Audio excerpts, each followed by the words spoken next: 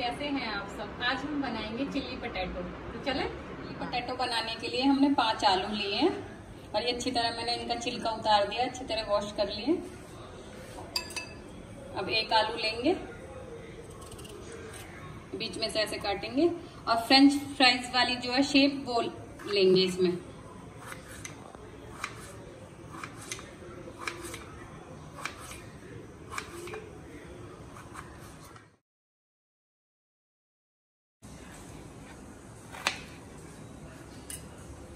ये हमारे सारे आलू कट गए हैं।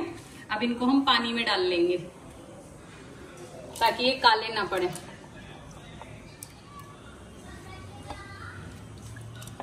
ये हमने पानी में डाल दिए पानी में डालने से ये काले नहीं पड़ते। ये हमने आलूओं को एक कपड़े पे निकाल लिया है, ताकि जो इसका एक्स्ट्रा पानी है, ये कपड़ा सोख ले। ये हमारे आलूओं को मॉइस्चर अच्छी तरह सूख गया। अब इसमें हम पाँच चम्मच कॉर्नफ्लावर डालेंगे। मैंने हाथों को अच्छी तरह वॉश कर लिया, इनको अच्छी तरह मिक्स करेंगे।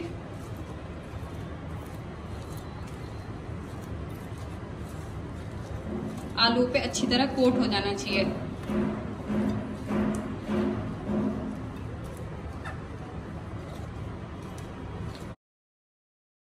ये हमारे आलू अच्छी तरह कोट हो गए ये हमने तेल रख दिया था गर्म होने के लिए। अब हम एक डाल के देखेंगे कि हमारा तेल अच्छी तरह गर्म हो गया। तो ये हमारा तेल अच्छी तरह गर्म हो गया। अब हम अपने ये फ्रेंच फ्राइज को इसमें डालेंगे।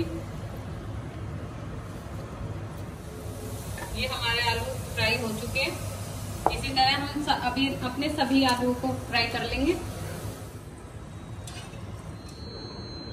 देखिए हमारे सभी आलू फ्राई हो गए हैं। देखिए कितने क्रिस्पी हैं। ये देखिए। इन्हें आप फ्रेंच फ्राइज की तरह भी खा सकते हैं, पर हम बना रहे हैं चिल्ली पटेटो ये हमने एक चम्मच तेल डाला था इसमें। ये हमारा गर्म हो गया है। अब इसमें डालेंगे हम लहसन। ये बारीक काटा हुआ है मैंने।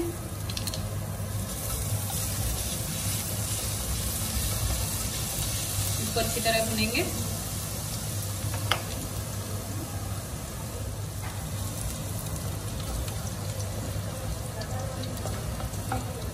लहसन भुन गया है। इसमें डालेंगे प्याज।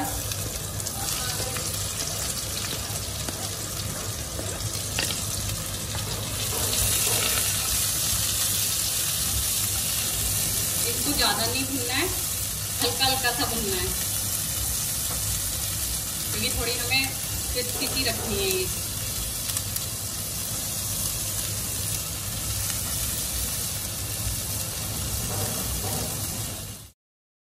ये हमारी प्याज भुन गई है, इसमें हम डालेंगे शिमला मिर्च। इनको दो मिनट के लिए भूनेंगे।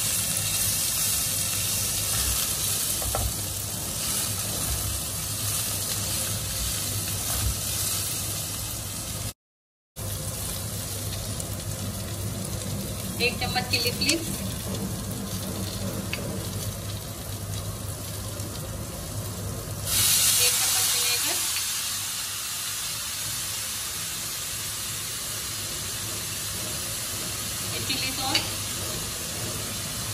सोया सॉस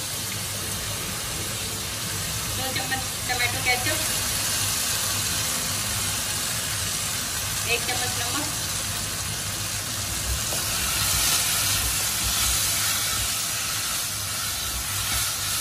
ये हमने एक चम्मच अरारोट लिया था और थोड़ा सा पानी डाल के इसको ऐसे घोल लिया है और इसमें डालेंगे। इससे हमारी ग्रेवी बहुत अच्छी हो जाएगी।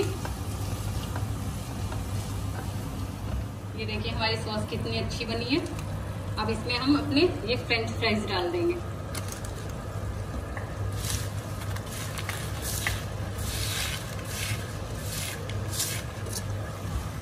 अच्छी तरह मिक्स करेंगे।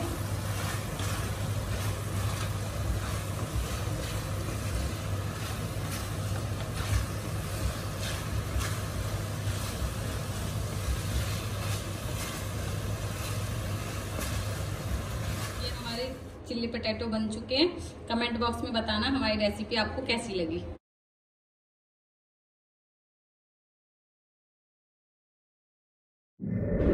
Thank you for watching my video अगर आपको मेरी वीडियो अच्छी लगी हो तो मेरे चैनल को लाइक सब्सक्राइब और शेयर करना ना भूलें।